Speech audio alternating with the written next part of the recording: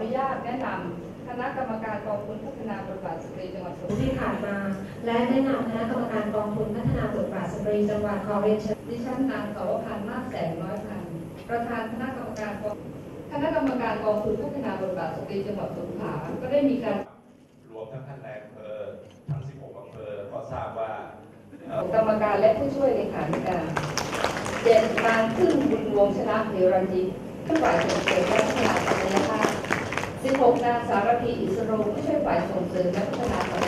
ข้อสามนะคะชำระเงินต้น พร้อมดอกเบี้ยเป็นรายงวดทุกๆสามกองทุนพัฒนาบทบาทสตรีจังหวัดสงขลาในวันนี้ ตามที่รัฐบาลได้มีนโยบายในการพัฒนาสตรีคุณภาพของกองทุนพัฒนาบทบาทสตรี ทั้งระดับตำบลและก็ระดับจังหวัด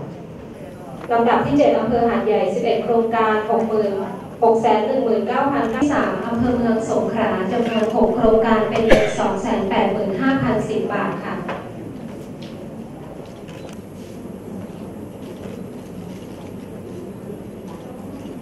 ผมมั่นใจเป็นอย่างยิ่งนะครับ ด้วยความแข็งแกร่งของสตรีบ้านเรา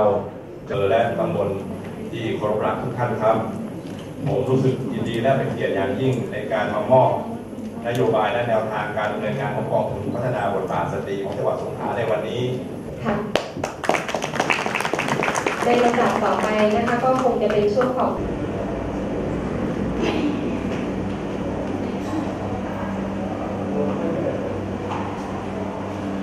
เอาอย่างเอาอย่าง